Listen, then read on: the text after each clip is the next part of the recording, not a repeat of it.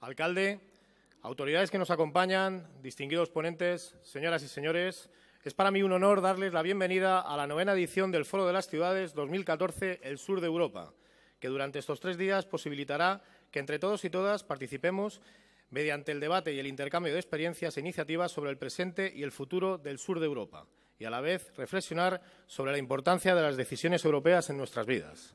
A continuación, tiene la palabra el concejal de Participación Ciudadana del Ayuntamiento de Fuenlabrada, don José Sánchez Luque.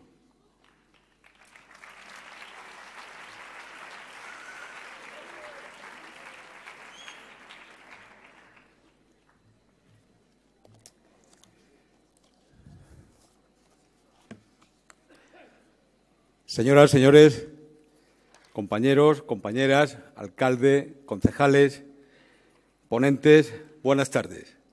Bienvenido a este noveno foro de las ciudades.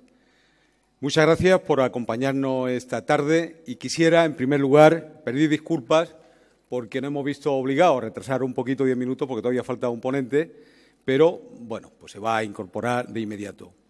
Yo quisiera, en primer lugar, eh, agradecer a las asociaciones de vecinos, los colectivos eh, ciudadanos de Fuenlabrada y a las universidades de eh, Juan Carlos, Rey Juan Carlos, Carlos III y Complutense, su colaboración y participación en este noveno foro de las ciudades. En unos momentos vamos a se va a inaugurar por parte del alcalde. Y eh, yo les quiero animar a que a lo largo de este fin de semana podamos hablar de Europa, podamos hablar de lo que queremos que sea Europa y podamos hablar también de la importancia que tienen las decisiones que se toman en las distintas instituciones europeas.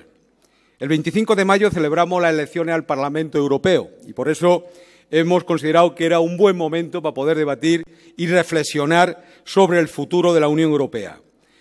La Unión Europea ha contribuido a garantizar la paz y extender la democracia por todo el continente. La paz y la democracia son los valores sobre los que hemos construido la Unión Europea la crisis económica, las desigualdades territoriales y la exigencia de reducción del déficit de los países menos desarrollados del sur de Europa han generado una profunda desconfianza entre los países que formamos la Unión Europea y participamos en el euro. El desarrollo de la Europa de los mercados que facilita la circulación de capitales, bienes y servicios requiere, en mi opinión, del fortalecimiento de la Europa social, del reconocimiento de los derechos sociales de la ciudadanía y de la extensión de los lazos de solidaridad económica y social entre los países de la Unión Europea. No podemos aceptar que los países del norte de la Unión se, refieran despectivamente a los países del sur con el acrónimo anglosajón PIC. La crisis e-, económica, los recortes sociales y la desconfianza entre los países europeos están poniendo a prueba la solidez de los lazos políticos de la Unión Europea. La crisis económica y del estado de bienestar ha incrementado la desconfianza ciudadana hacia las instituciones. Debemos trabajar para que este malestar no derive en un crecimiento del nacionalismo excluyente y xenófobo.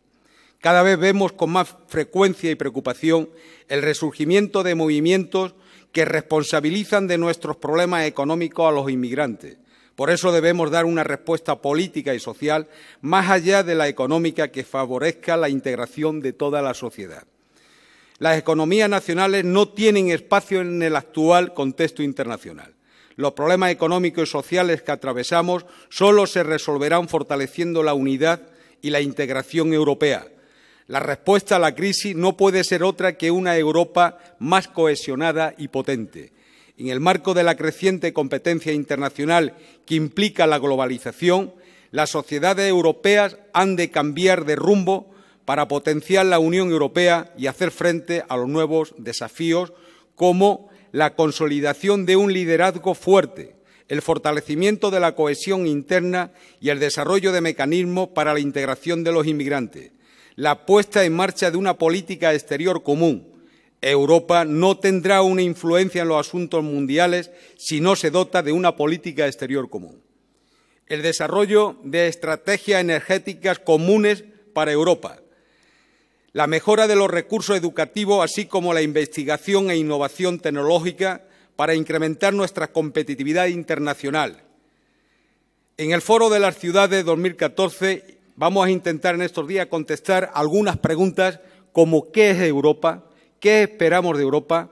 ¿Hacia dónde debe ir sus instituciones y sus ciudadanos para ser relevantes en un mundo globalizado y cambiante? ¿Cuál es el papel de los países del sur de Europa? ¿Cómo afecta la crisis económica, los incrementos del déficit y de la deuda pública en los sistemas de representación democrática? ¿Cómo afecta la crisis a las desigualdades, a la exclusión y a la xenofobia? Solo respondiendo a estas preguntas colectivamente conseguiremos que Europa continúe avanzando. Nuestra participación es fundamental para que la Unión Europea responda a las inquietudes y los problemas ciudadanos. Entre todos, debemos definir un nuevo pacto social sobre el que continuar construyendo las instituciones europeas. Muchas gracias.